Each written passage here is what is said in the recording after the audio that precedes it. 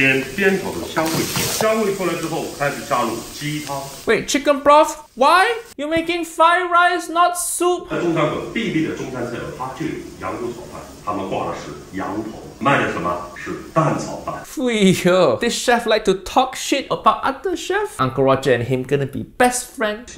Okay, now finally he making fried rice. It like he doing the side quest first.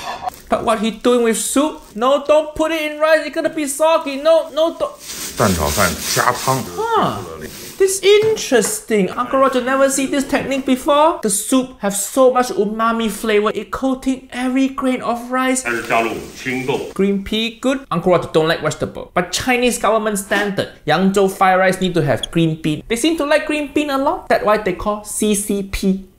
I know I banned from China, but Uncle Roger gonna go to black market, get fake passport, fly to China to eat his fried rice.